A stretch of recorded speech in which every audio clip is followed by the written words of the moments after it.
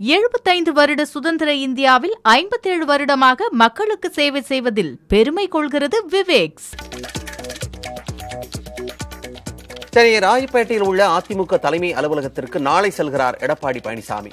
ஜூலை பதினொன்று பொதுக்குழுவை உயர்நீதிமன்றம் அங்கீகரித்த நிலையில் அடுத்த கட்ட நடவடிக்கை.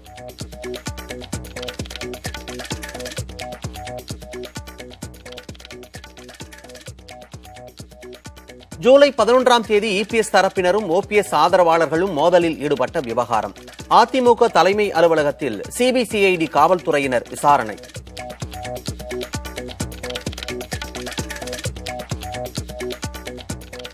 வெறுப்பரசியலால் தந்தையை இழந்தது போன்று நாட்டை இழக்க மாட்டேன் என்று காங்கிரஸ் மக்களவை உறுப்பினர் ராகுல் காந்தி உறுதி.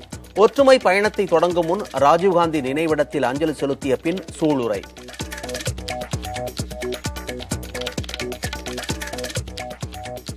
முன்னாள் அமைச்சர் வேலுமணி வழக்குகளில் மத்திய அரசு அனுமதி அளித்திருப்பதால் மூத்த வழக்கறிஞர் ராஜு ஆஜராகலாம் என உயர்நீதிமன்றம் அனுமதி.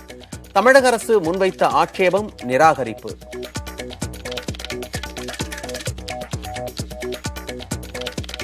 மருத்துவ படிப்புக்கான நீட் தேர்வு முடிவு இன்று வெளியீடு.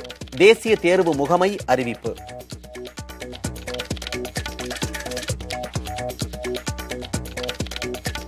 மேட்டூர் அணைக்கான நீர்வரத்து ஒரு லட்சத்து இருபத்து ஐந்தாயிரம் கனஅடியாக அதிகரிப்பு. காவிரி கரையோர மக்கள் கவனமுடன் இருக்க அறிவுறுத்தல்.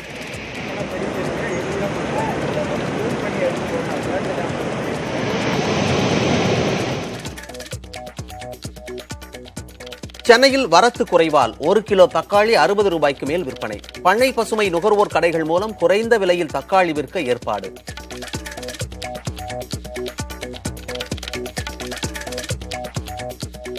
ஓணம் பண்டிகை மற்றும் முகூர்த்த நாள்கள் எதிரொலி.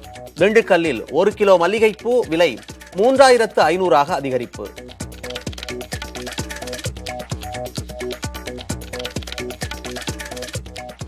நோ என்ட்ரியில் வாகனத்தை இயக்கி பிடிபட்டால் அபராதம் பல மடங்கு உயர்வு. இருநூறு ரூபாயில் இருந்து ஆயிரத்து நூறு ரூபாயாக அபராதத்தை அதிகரித்தது சென்னை போக்குவரத்து காவல்துறை.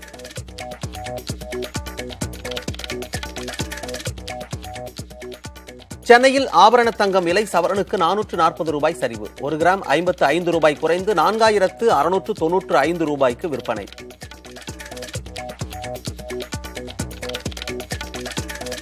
உதகை மலை ரயில் சேவை மீண்டும் தொடக்கம். தண்டவாளத்தில் குவிந்திருந்த மண் மற்றும் பாறைகள் அகற்றப்பட்டதால் சுற்றுலா பயணிகள் மகிழ்ச்சி.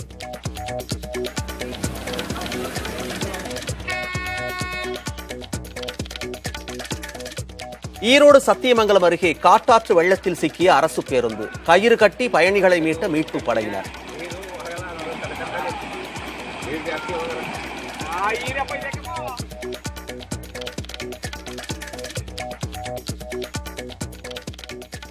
தொடர் மழை காரணமாக பெங்களூருவில் வெள்ளப்பெருக்கு நீடிப்பதால் இயல்பு நிலை பாதிப்பு.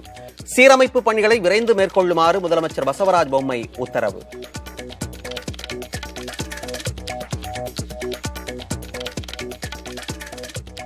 ஹாலிவுட் நடிகர்கள் உள்பட இருபத்தைந்து பிரபலங்கள் ரஷ்யாவிற்குள் நுழைய தடை. உக்ரைன் அதிபரை சந்தித்ததால் புட்டின் அரசு நடவடிக்கை.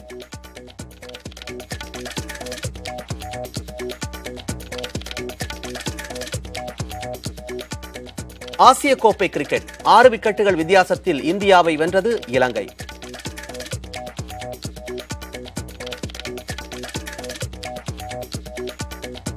எழுபத்தைந்து வருட சுதந்திர இந்தியாவில் ஐம்பத்தேழு வருடமாக மக்களுக்கு சேவை செய்வதில் பெருமை கொள்கிறது விவேக்ஸ்.